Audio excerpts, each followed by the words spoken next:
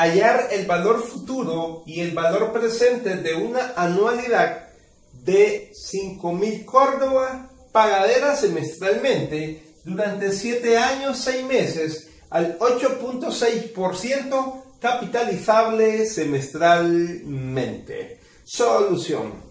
Bien chicos, estamos en presencia de un problema de anualidad. En este caso se trata de una anualidad ordinaria o vencida. Y tenemos los siguientes datos de nuestro problema propuesto, como son A, que son los 5.000 Córdoba.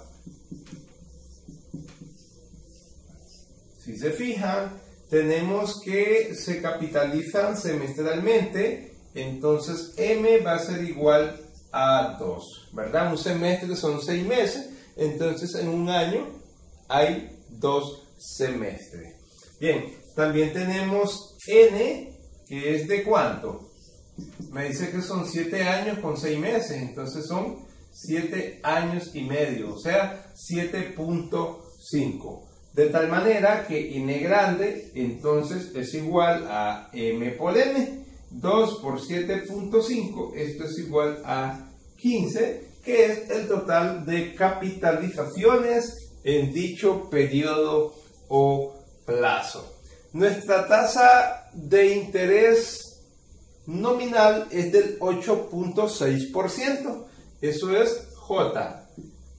Y 8.6 entre 100, eso es 0.086. Ah, podemos calcular nuestra tasa de interés efectiva, que es igual a J entre M. 0.086 entre 2, ¿cuánto da?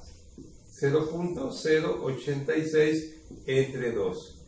Pues esto es igual a 0.043. Eso sería entonces nuestra tasa de interés efectiva. Bien, entonces nos están pidiendo calcular el valor futuro y el valor presente. Nos están pidiendo F y nos están pidiendo P. Bien, F va a ser igual a A multiplicado por el siguiente cociente, que es 1 más i, todo eso a la n, luego restamos 1 y lo dividimos entre i.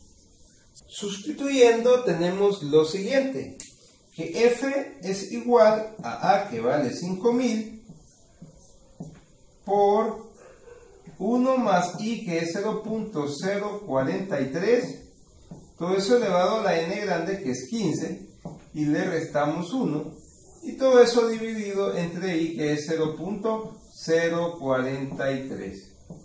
Si resolvemos dicha operación, tenemos que f va a ser igual a 102.379.34 Córdoba.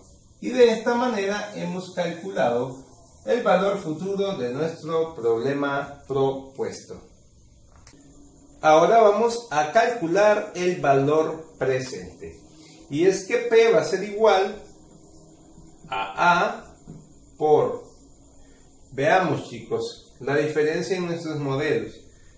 1 menos 1 más I a la menos N, todo eso entre mi tasa efectiva, ¿verdad? Veamos la diferencia. Cuando es el valor futuro, es 1 más I a la N menos 1. Estamos hablando del numerador. En cambio, cuando es valor presente es 1 menos dicha base y el exponente ahora es negativo. Veamos que n grande acá es positivo en el valor futuro y en el presente es negativo. Veamos que el 1 se le resta a la base en el valor futuro. Sin embargo, en el valor presente al 1 le restamos la base. Ok. Entonces, sustituyendo, tenemos que P a ser igual a, que son los 5000. Eso lo multiplicamos por 1 menos 1 más i, que es 0.043. Esto elevado a la menos n grande, o sea, a la menos 15. dividido entre i que es de 0.043. Y si realizamos dicho cálculo, tenemos que P va a ser igual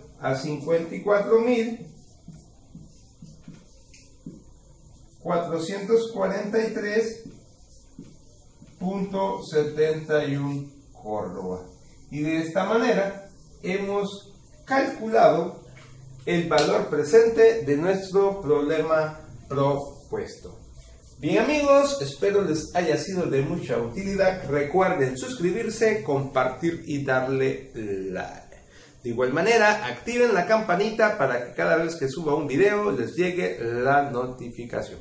Saludos y bendiciones.